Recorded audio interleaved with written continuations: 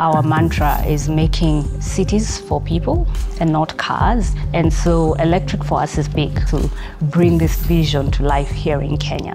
We've been collaborating with Roam for a very long time because what we would ideally want to do is bring electric two-wheeler vehicles to our driver population. But it has been a bit out of reach for many drivers. We have another partner that is known as Because we are now working together.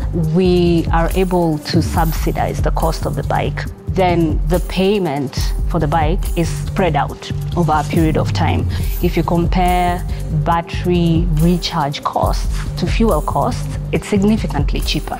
So in the end, when it comes to day-to-day -day trip management, you're spending less. And your day-to-day -day costs will be significantly reduced. We just see it as a win-win-win for driver partners.